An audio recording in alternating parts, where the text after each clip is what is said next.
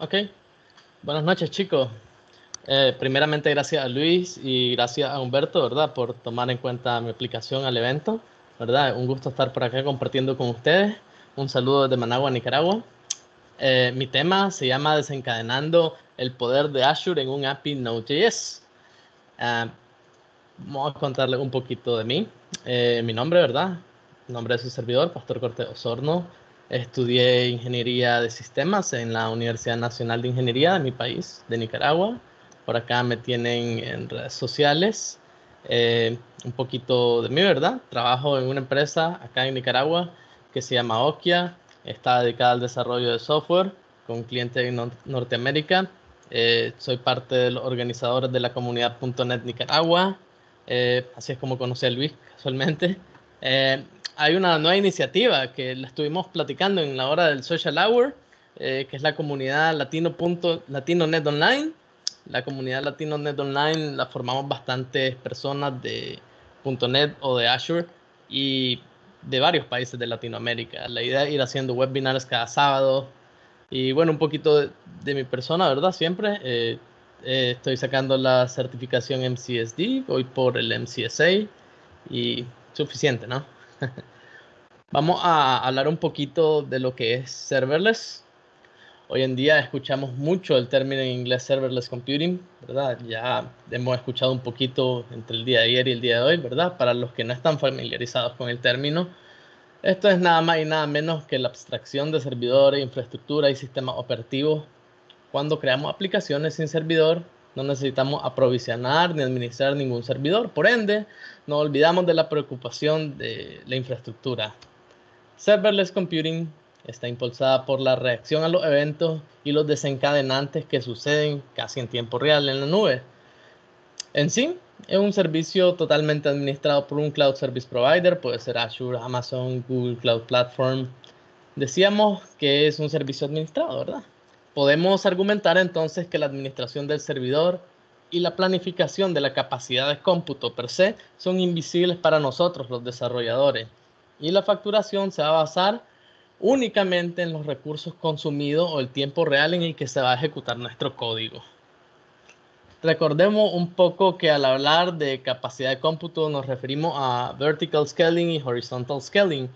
En este caso ya lo dejó bastante claro, ¿verdad? Eh, Andrés, que únicamente nos tenemos que, tenemos que tomar en cuenta el horizontal scaling, que es básicamente la adición de más servidores para la configuración de un clúster o un entorno distribuido para un sistema de software. Eso es totalmente transparente a nosotros, eh, los desarrolladores, ¿verdad? Eh, con respecto a Azure App Service, decíamos con anterioridad que serverless es para correr código en Azure sin preocuparnos de infraestructura, ok. Eh, dada esta premisa, ya conocemos una plataforma entonces como servicio, la cual es Azure App Service. Cabe en la descripción antes mencionada, el Cloud Provider toma la responsabilidad de administrar los servidores en los cuales corre nuestro código. Todo lo que debemos hacer como programadores es proveer el código para que tu aplicación web o tu web job corra. Simplemente crea un sitio web y le dices a Azure que hospede tu aplicación en algo, llamado hosting plan. Básicamente un hosting plan te da la libertad de hospedar múltiples websites en un solo servidor o bien darle a tu website su propio servidor dedicado y habilitar autoscaling si tu aplicación está en alta demanda. La razón por la cual estoy hablando de esto es para destacar Azure Functions. En realidad está construido en la base superior del SDK de, de los webjobs y se alojan en un app service. Así que podemos decir que es parte de lo que nos ofrecen acá, pero con unas cuantas capacidades nuevas y bastante poderosas.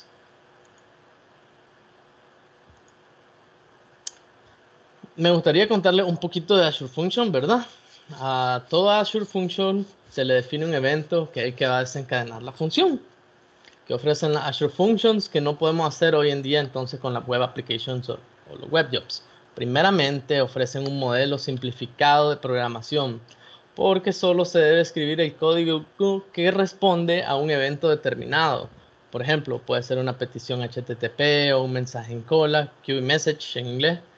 Eh, todo el boilerplate que normalmente deberíamos escribir para conectar estos eventos es abstraído. O sea que el programador solamente se va a enfocar en los requerimientos, en programar los requerimientos de negocio. En segundo lugar está el precio. está basado en el consumo, de manera tal que no debo tomar un hosting plan con determinadas características. Una web app de Azure eh, es código que siempre está corriendo y por supuesto se paga por ello. Un poquito de historia, ¿verdad? Permítanme contarles que Azure Function fue introducida en el 2016, permitía correr código de .NET Framework 4.7 en ese entonces. La versión 2.0 apareció en el 2018 y trajo consigo algunos cambios de portabilidad, ¿verdad? Azure Functions ya en esta versión, segunda versión, fue cross-platform y se podía correr incluso con Docker containers. Eh, se podrían escribir ah, funciones para .NET Core 2.2, Node versión 8 y versión 10 e inclusive Java versión 8. A partir de este año, en el 2020, salió la tercera versión, que es la versión actual, y soporta versiones de Node como la versión 10 y la versión 12, .NET Core 3.1, Python, así. Ya hemos escuchado un poquito de ello, ¿verdad? Ok. Eh, en este caso tenemos que un Action Function está definido por eventos más código. Habíamos dicho la premisa, ¿verdad? A todo Azure Function se le define un evento que es el que va a desencadenar la función, el código. Por ejemplo, puede utilizar Azure Functions para correr una función cada hora. El evento, en este caso el desencadenador, en inglés, trigger, eh, un scheduler, o sea, un evento programado, este tipo de función podría, por ejemplo, utilizarse para correr un batch por la noche, digamos, que limpie eh, una serie de registros en una base de datos, por ejemplo. Otro tipo de evento que puede desencadenar una función eh, puede ser un nuevo mensaje en cola o un nuevo archivo siendo subido a un Azure Blob. Este tipo de evento podría ser utilizado para enviar un correo de notificación. Otro ejemplo bastante útil eh, puede que desencadenar una función con una petición HTTP cuando alguien hace una llamada a un URL en específico tu función ejecutada en respuesta a esa petición.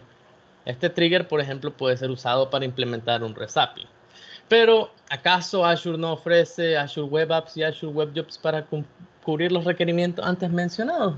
Claro que sí, ¿verdad? Pero lo importante aquí es que consideremos otras maneras de cómo correr tu código en Azure. Al comprender esto, entonces, estamos en una posición perfecta para comprender por qué las Azure Functions son diferentes y por qué deberíamos usarlas. Em, de las características de Azure Functions, quiero destacar la siguiente. De ahora en adelante, cuando venga a su mente, hey, voy a hacer esto con un Azure Function, quiero que piensen eso, single unit of work. El código es responsable de una sola cosa. No debe realizar un montón de operaciones, así que Azure Functions eh, sigue desde el principio. Keep it simple. Podemos repetirlo, keep it simple. Em, los desencadenadores, triggers, eh, son los que hacen que se ejecute una función. Un trigger define cómo se invoca una función. Eh, cabe destacar que las funciones solo pueden tener un único trigger. Los triggers tienen datos asociados, a menudo proporcionan como payload, se proporcionan como payload de la función. En lo que se refiere a input y output, hablamos de Azure Function Bindings. Los bindings son opcionales y vienen en forma de entrada y salida. Un binding de entrada son datos que recibe una función y uno de salida, por ende, son los que envía la función. Y con respecto a stateless, eh, tenemos un servicio web. Visionemos un ejemplo. Un servicio web RESTful eh, no debe mantener el estado del cliente en el servidor es responsabilidad del cliente pasar su contexto al servidor y luego el servidor puede entonces almacenar este contexto para procesar la solicitud adicional del cliente. Y en la otra característica tenemos la idempotencia, que es la propiedad de ciertas operaciones en matemática y ciencias de la computación, ¿verdad? Que se pueden aplicar varias veces sin cambiar el resultado más allá de la aplicación inicial. Por ejemplo, vemos un REST API, ¿verdad? Tenemos un método create.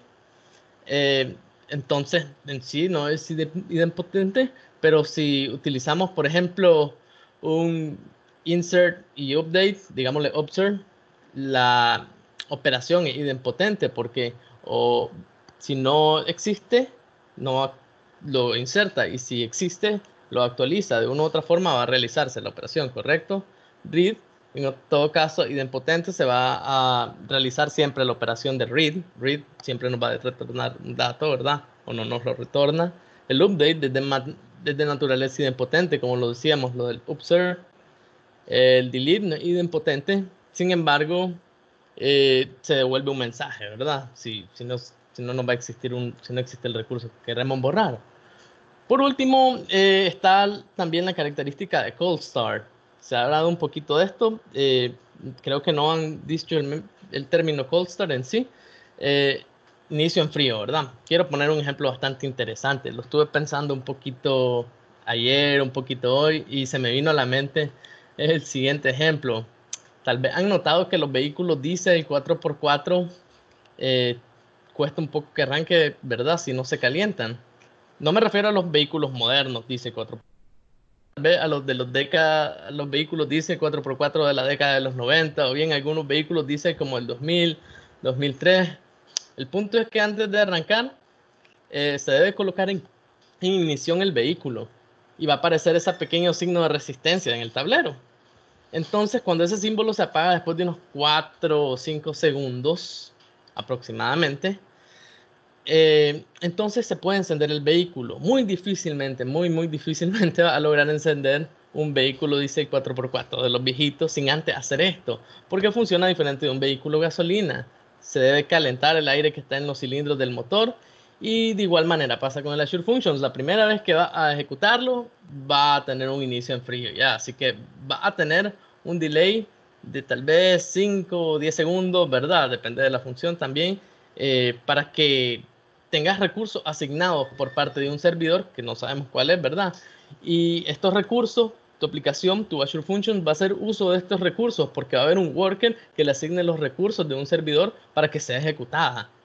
Entonces a eso nos referimos con el cold start. En el contexto de Azure Functions, de Azure Functions, la latencia es el tiempo total que un usuario debe esperar. Desde el momento en que ocurre un evento, mandamos una petición, por ejemplo, a un endpoint HTTP para iniciar una función, entonces hasta que esa función se complete todo ese tiempo es la latencia. La primera vez que se ejecuta entonces tu Azure Function, la latencia va a ser mayor porque van a ser asignados recursos a, tu función para que, para que esta sea ejecutada. Como no tiene recursos asignados, va a demorar un poco más. Entonces, por ende, la latencia va a ser mayor las primeras veces que vaya haciendo petición a tu función. De manera tal que si hay más y más y más peticiones, va a tener más recursos asignados y por ende tu aplicación va a ser más rápida después de cierto número de requests. Hoy en día el tiempo de desasignación eh, es de 5 a 10 minutos aunque en la documentación creo que dice que son 20 minutos. Ok, vamos a hablar un poquito de los pros. Con todo lo anterior dicho, estamos en posición de, entender un poquito mejor, ¿verdad? Los beneficios de usar Azure Functions en lugar de otras alternativas para hostear nuestro código en Azure. En primer lugar, ofrece un modelo de desarrollo rápido y simple que permite al desarrollador abstraerse de escribir únicamente el código que nos interesa. De hecho, cabe destacar que se pueden escribir funciones utilizando el Azure Portal, como nos mostraba Andrés en la charla anterior. En nuestra charla vamos a utilizar Visual Studio Code. Eh, bueno, también contamos con el poder de Azure Web Apps, ¿verdad? Tenemos Continuous Integration, Kudu, Easy Out, certificado SSL, Custom Domains y todo eso eh, se puede emplear dentro de los Azure Functions tenemos también como beneficio el, costo efectivo. Es pagar únicamente por lo que estamos utilizando de recursos. Como dijo anteriormente Andrés, tienen hasta un millón de peticiones, o sea que va a tener bastantes peticiones también gratuitas dentro de ese rango. Entonces, Azure Functions hace de esto, pues esto hace de Azure Functions una propuesta bastante atractiva eh, para peticiones porque pues es un costo bastante reducido, por ejemplo, para un startup. En los contras, vamos a hablar un poquito de los aspectos negativos, ¿verdad? Y el primero el vendor lock-in. Eh, es bastante difícil, ¿verdad? De que si ya tenemos todo hecho en un Azure Functions, en Azure, ¿verdad? Vamos a pasar ese código, por ejemplo, a AWS o a Google Cloud Platform implementar, crear, probar, ejecutar una función también ha sido bastante difícil fuera del entorno de Azure y de Azure Portal. Tenemos también que los contras está el arranque en frío, el cold start.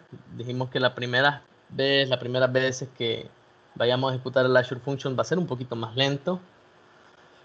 Serverless es ideal para procesos a corto plazo en tiempo real, como enviar correo electrónico, operaciones en base a peticiones HTTP. Sin embargo, para tareas de mayor duración donde las funciones se ejecutan constantemente, puedes terminar pagando más por el tiempo de cómputo, el tiempo en que va a estar ejecutándose la función, ¿verdad? Que cuando pagas por una instancia reservada. En todo caso, por ejemplo, si es una tarea que va a correr un batch en la noche, ¿verdad? Y sabemos que va a dilatar bastante, mejor ve por un web job que por un Azure Function. Una tarea, también como la carga de archivos de video, por ejemplo. Se me ocurrió un video de alta resolución, ¿verdad? Videos pesados, ¿verdad? Requeriría la asignación de más recursos y esto trae un costo más alto. Aquí puse un sinnúmero de escenarios, por ejemplo, vemos eh, un provider de pagos, ¿verdad? Que ejecuta una función y pone un mensaje en cola, o bien tenemos un archivo, ¿verdad? Y lo subimos con un Azure Function, envío un correo, tenemos métodos para validar datos, buscamos en la base de datos, ¿verdad? Por medio de un Azure Functions. Cabe destacar que a diferencia de microservices, cada función para estos escenarios puede es pública, ¿verdad? Y puede ser escalada independientemente. Ahora con esta serie de ejemplos voy a mencionarle el término Function App. Azure Function te permite agrupar funciones relacionadas. Digamos, podemos tomar una función de crear, de, de leer, de read, de update, de actualizar y de delete. Y lo podemos poner todas ellas dentro de un Azure Function, agrupándola en un Function App. Todas esas Azure Function las agrupamos en un Function App y lo que permite que dichas funciones compartan configuraciones o recursos. El porqué del nombre de la charla ya lo vamos a discutir en este siguiente slide. Eh, me gusta mucho Star Wars y hace tiempo que lo decía en el Social Hour, me gustaban bastante los videojuegos cuando estaba en la universidad, ¿verdad? Eh, hay un videojuego Star Wars, La Fuerza Desencadenada, entonces se me ocurrió simplemente poner ahí a un lado Node.js y al otro lado Azure Functions. Entonces, el asunto es conocer, digamos, otros caminos de cómo hacer, ejecutar tu código, otros caminos de la fuerza, pues, ¿verdad? Y algo que hacemos, pues, probablemente venimos y hacemos un API utilizando Express, Node y ya, ¿verdad? No, pero pues otro camino de hacer las cosas y desencadenar un poco pues el poder de Azure. Así que con esto dicho, eh, creo que es suficiente charla, ¿verdad? Dice Linus Torvalds, talk is cheap, show me the code. Vamos a abrir el Windows Terminal. Y por acá en el Windows Terminal voy a abrir mi instancia WSL. También quería decirles que vamos a correrlo en una instancia, en un subsistema de Linux. Azure Functions es cross-platform, como ya mencionaba anteriormente, todos los muchachos. Solamente voy a crear una carpeta por acá. Le vamos a poner restaurant.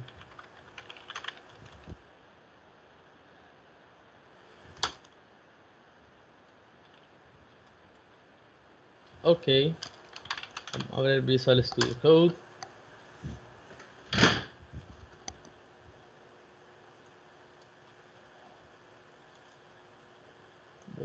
mostrarles por acá. Eh, tengo algo. Por acá ya tengo creado para ahorrar un poquito de tiempo, ¿verdad? Eh, tengo creado en Azure Cosmos DB una instancia de MongoDB que se llama Restaurant. Tengo aquí un sinnúmero de documentos en orders y vamos a hacer un CRUD entonces, desde cero. Entonces lo primero que tendríamos que hacer sería instalar globalmente eh, un paquete. El paquete eh, utilizando npm ya lo tengo instalado para ahorrar un poquito más de tiempo también. Este acá se llama Azure Functions Core Tool, entonces lo van a instalar globalmente. No se preocupen, ahí tengo un walkthrough para que luego le echen un vistazo a eso, que, es lo que se debe instalar y que no. Eh, también se debe instalar por acá extensions, extensions, extensions, acá. Debemos utilizar el Azure Functions, está todavía en preview. Eh, lo mencionó Andrés en su charla también, ¿verdad? Que podemos utilizar Visual Studio Code con esta extensión para poder crear Azure Functions en cualquier lenguaje, al igual que en Visual Studio. Entonces, con esto dicho, eh, tenemos por acá la, la, la extensión. Vamos a crear un nuevo proyecto. Ah, vamos a cerrar esto. Un nuevo proyecto y le vamos a poner el nombre de la carpeta Restaurant API. Vamos a utilizar como lenguaje JavaScript. Y nuestra primera Azure Function va a ser un HTTP trigger que sea create order. Vamos a crear una orden de autenticación anónima. Eh, a manera de ejemplo, no es lo más seguro, por supuesto, pero quiero que hagamos un ejemplo claro, un poco rápido para, para que en sí ya puedan tener la idea de cómo empezar a utilizarlo. Ok, vamos a echar un vistazo por acá. déjenme ver, por acá tengo ¿verdad? Y de creative y description le puse tres campos. Entonces, estos tres campos los vamos a utilizar dentro de la aplicación pues para crear. Entonces, por acá cabe destacar también que tenemos, si ya nos fijamos, el paquete J, el archivo package.json, tenemos que instalar un paquete antes de comenzar a trabajar. Y voy a instalar entonces npm install save eh, Mongo, MongoDB.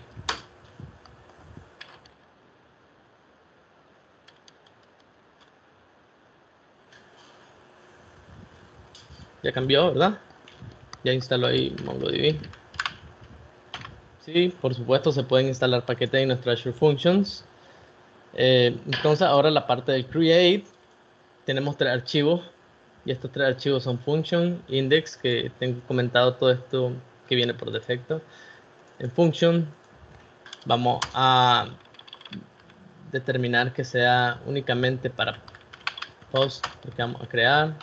Vamos a poner el nombre de la ruta también. Eh, cabe destacar que el nombre de la ruta, si no lo, si yo no lo determino, va a ser este create order. Si no, yo puedo, por ejemplo, poner route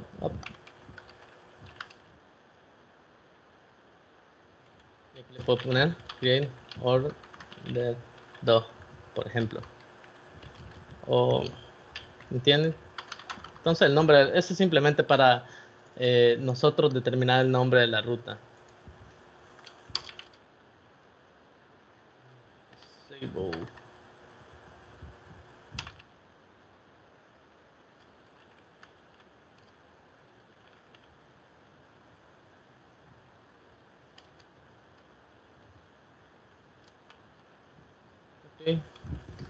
Vamos también a comenzar con el archivo de index.json. Eh, lo primero que tendríamos que hacer es declarar una constante, ¿verdad? Mongo, MongoDB, Mongo Client, mejor. Requerir eh, el nombre del paquete, obviamente MongoDB. Mongo Client.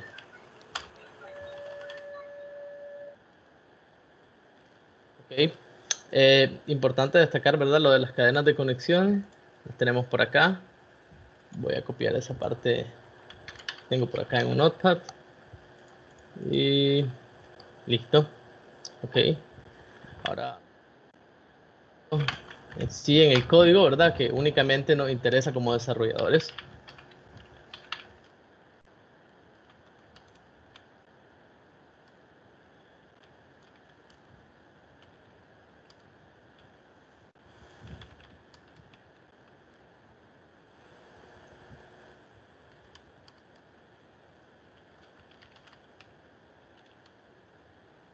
Mm-hmm. Mm-hmm. Mm-hmm. dice.db punto. Insert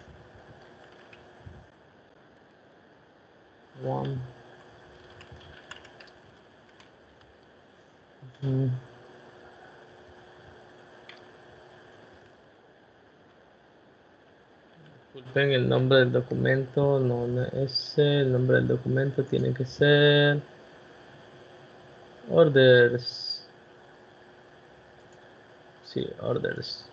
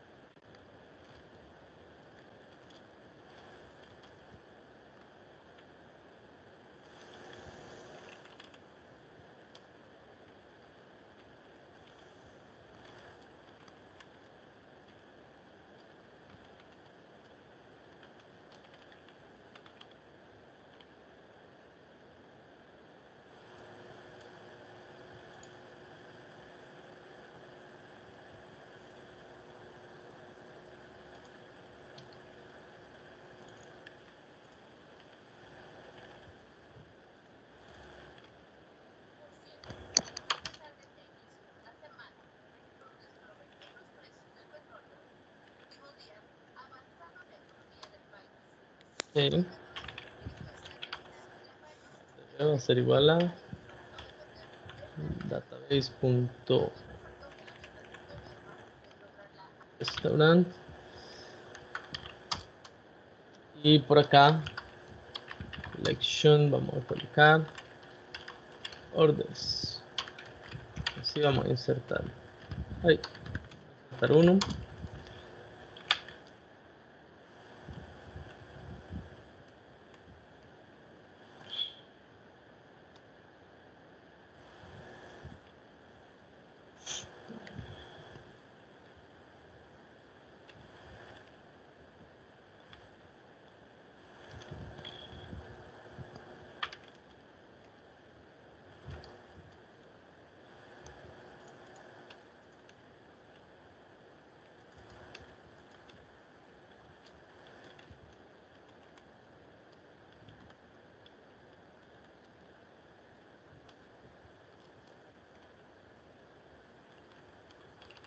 punto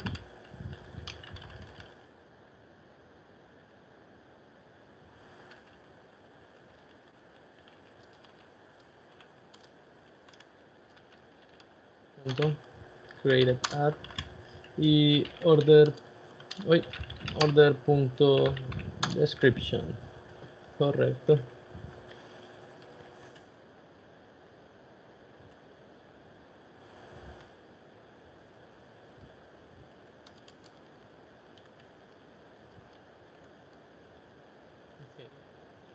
Entonces el error es- ah,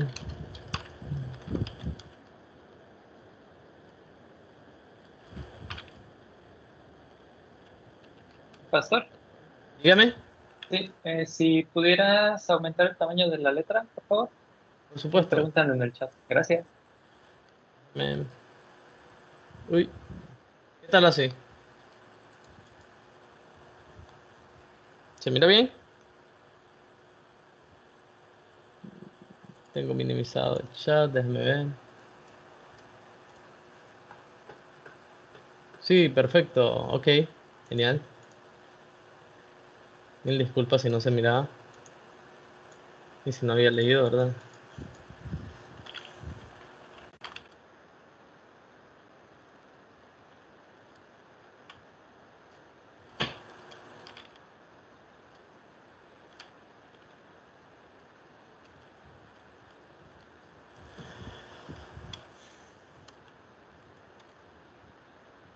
Vamos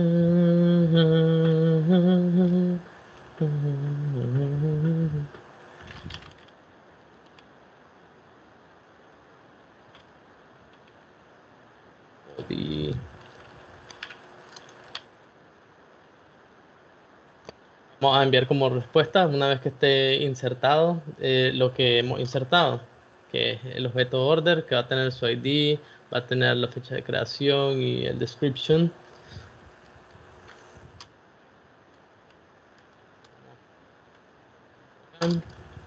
Y el contexto usamos done. Bueno.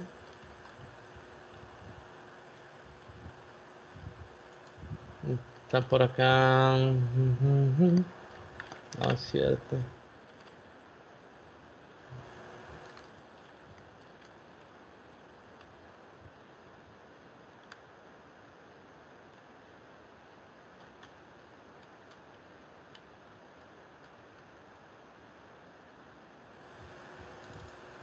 La función, ok, request, anonymous, false, create order.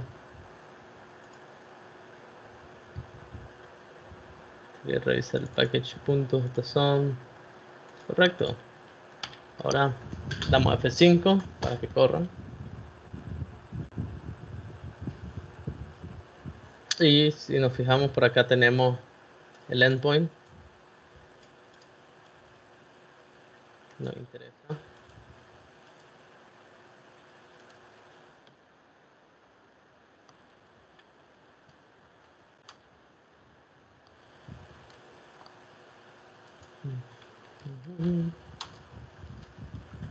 Por acá vemos en el puerto 7071 que nuestra función 3.0 eh, está corriendo. O sea que no hay problema, pues. Entonces podemos realizar el post.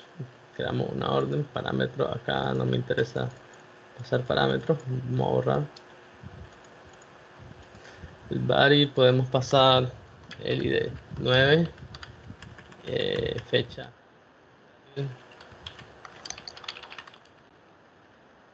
something to it eh, simplemente enviamos al send Listo. Vamos a revisar por acá. Eh, oh, abrí el que no era. Vamos a revisar por acá.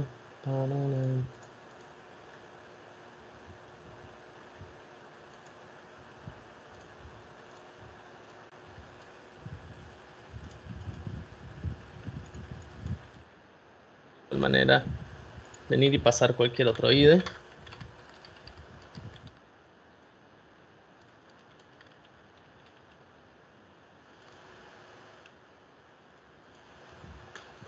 De igual manera se va a ir agregando más información en nuestra instancia MongoDB. Eh, esta misma operación la tendríamos que hacer obviamente para el, este, el post. Vamos a dar Shift F5 para pausar. Tenemos el create order, entonces tendríamos que realizar esta misma operación para el read, para el delete, para el update.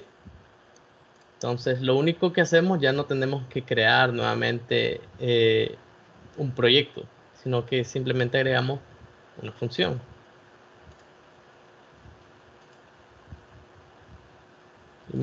Tenemos create order por acá, http read order. Pongámosle orders. Anonymous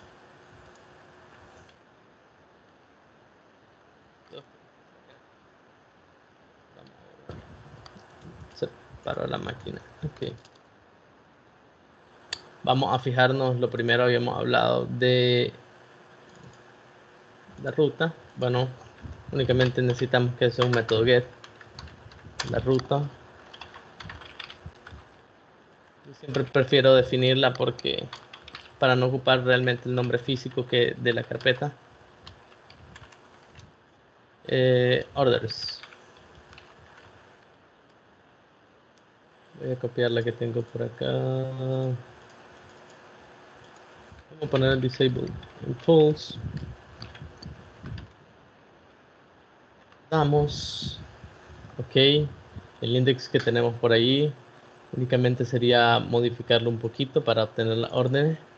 En este caso tenemos siempre que utilizar esta misma conexión que tenemos por acá.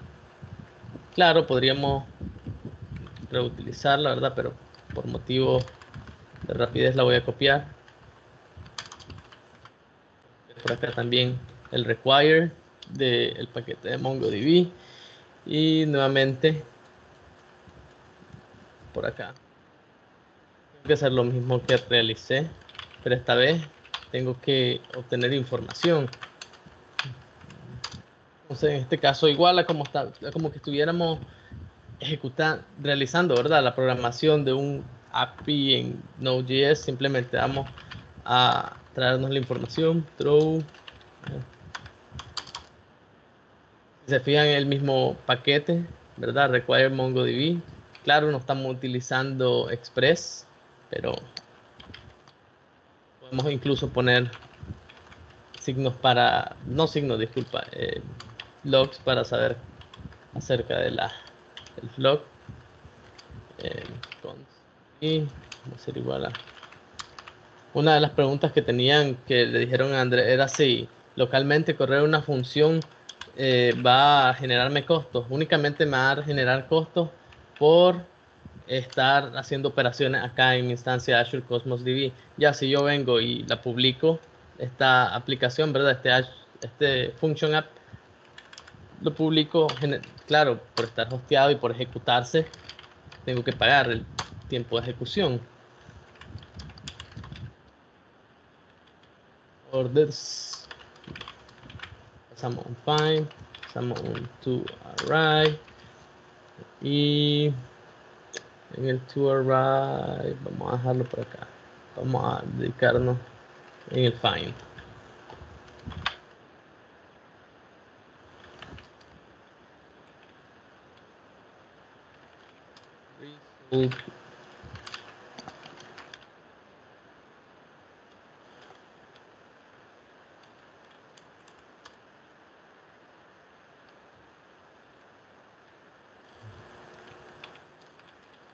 Veamos los errores.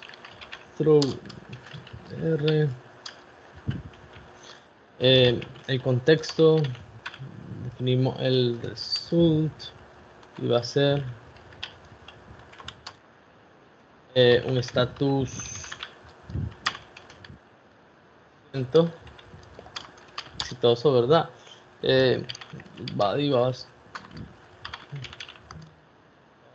tiene que ser result, por supuesto.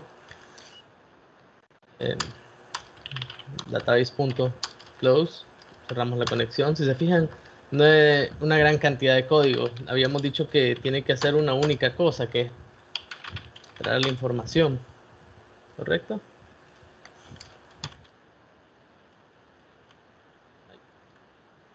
Disculpas. Y listo. F5, compilamos. Bueno, no compilamos, ¿verdad? Corremos, ejecutamos. Es simplemente, digamos, la costumbre de decir compilamos el día a día trabajo más con C por ello les digo compilamos. Parámetros, no hay parámetros, no necesito pasar nada de esto. Get API order send. En este caso hay un error. Y puede ser. ¿Qué podría ser? ¿Qué podría ser? Permíteme ver.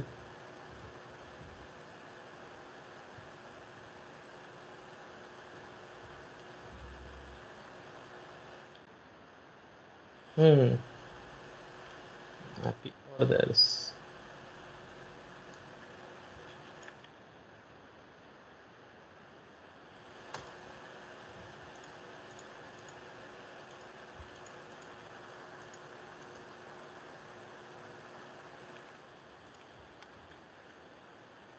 Revisar la ruta.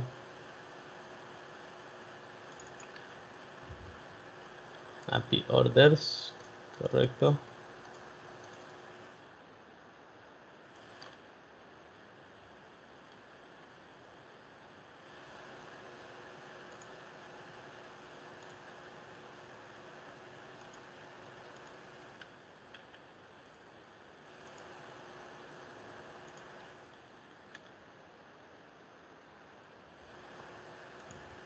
MongoDB require F5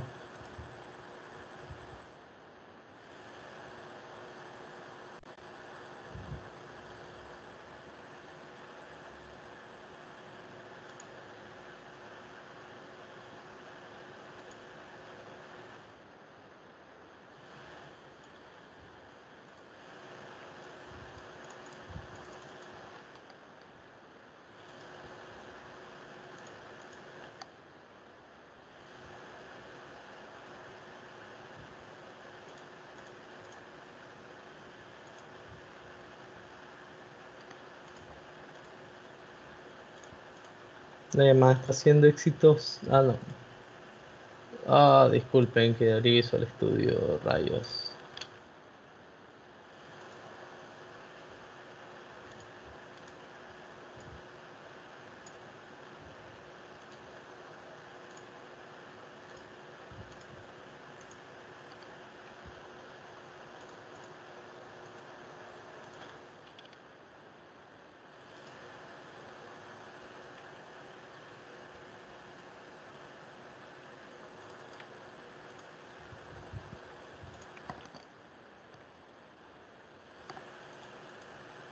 database.close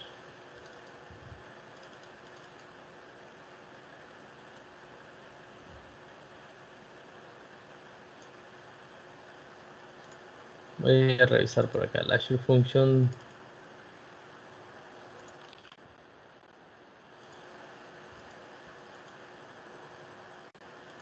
Trigger anonymous help out y todo está sin problema por acá.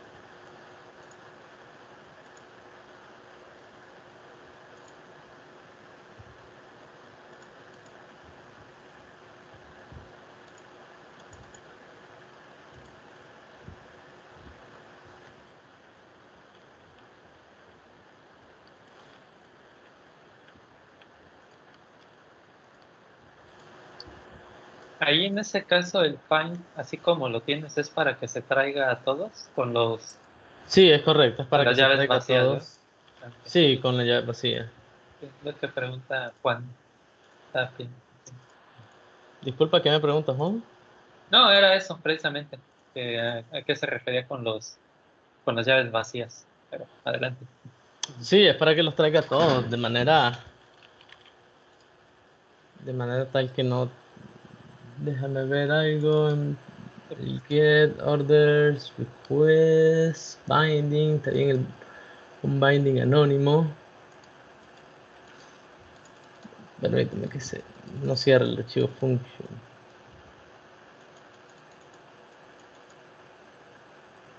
Nine Joslu is requesting contact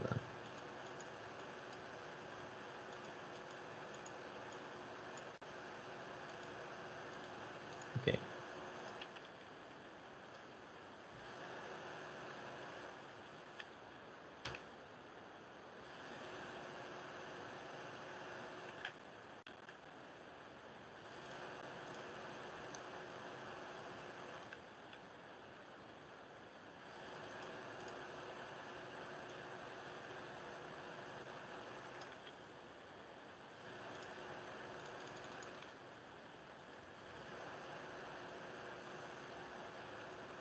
Ok. Parece que era algún mal formato. Simplemente ahí tenemos entonces todos los documentos. Y de igual manera sería realizar los otros dos métodos, pero creo que ya vamos un poco colgados con el tiempo. Así que vamos a pasar a la sesión de preguntas y respuestas, si tienen alguna. Permíteme, voy a dejar stop presenting.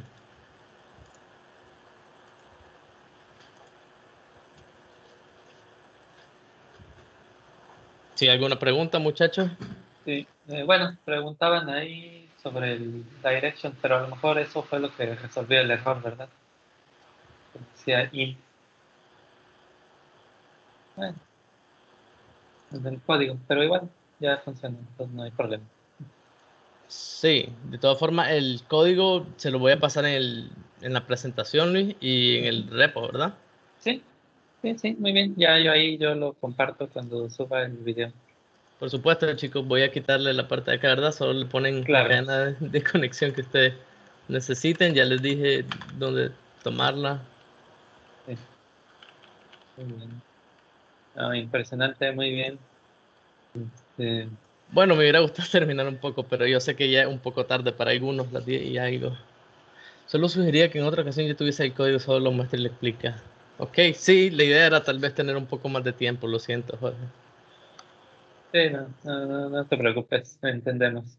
Este, pero sí, sí, ahí con el eh, código ya con más calma lo pueden revisar. Adelante, sí, sí, todo, toda retroalimentación es, útil. Muchas gracias, Daniel, por tu comentario. Agradece la, presentación. Eh, Jorge también. Eh, Posto, interesante utilizar VS Code. Muy bueno el ejercicio. Okay. Sí.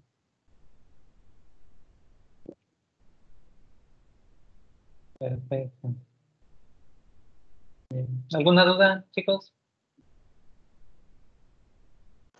Sí, sí, Hoslu, eh, muy bueno, ¿verdad? Lo de tener, eh, de trabajar en VS Code, sobre todo si va a trabajar en un ambiente WSL, lo siento, estaba en mute. Eh, WSL deberían googlearlo un poco, ¿verdad? De todas formas, en el post de, del blog les voy a poner cómo poder instalarlo, si desean instalarlo, para tener un ambiente subsistema de Linux en el cual puedan correr cosas y simplemente borran en un abrir y cerrar de ojos las cosas y pueden volver a poner, setear un ambiente rápido. Muy bien. Pregunta Lester, ¿has utilizado Azure Functions con Node.js en Visual Studio en lugar de Visual Studio Code? No, sinceramente solo lo he utilizado en Visual Studio Code y así también como demostró Andrés, Andrés Nava, sí, eh, que mostró cómo utilizarlo desde el Azure Portal, pero de ahí no. En Visual Studio Code únicamente. Uh -huh. Ya, muy bien. Listo. Pues, muchas gracias, eh, Pastor, por tu aportación. Eh, no siempre es bueno estar aprendiendo cosas nuevas. No hay de qué, pues chicos, entonces cualquier cosa, eh, hablamos por, sí. por eh, Twitter o bien ahí le voy a enviar la invitación a Luis para que Luis haga público el link de WhatsApp de latino.net, latinonet online, si quieren ver un poco más, ¿verdad? Con otro speaker cada sábado. Sí. Ya, total, todos somos latinoamericanos. Sí, exacto. Sí, está bien. Este, ahí me lo pasas, yo le hago eh, RT, igual ahí eh, síganlo en Twitter y también se enteran. Listo, pues gracias, gracias. Y bueno.